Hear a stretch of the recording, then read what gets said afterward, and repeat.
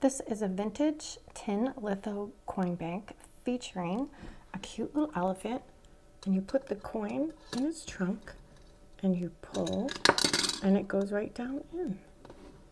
It's super cute. And the brand is marked on the back, J. Chien, made in USA. There's also a little cover for the bottom. Cute retro item.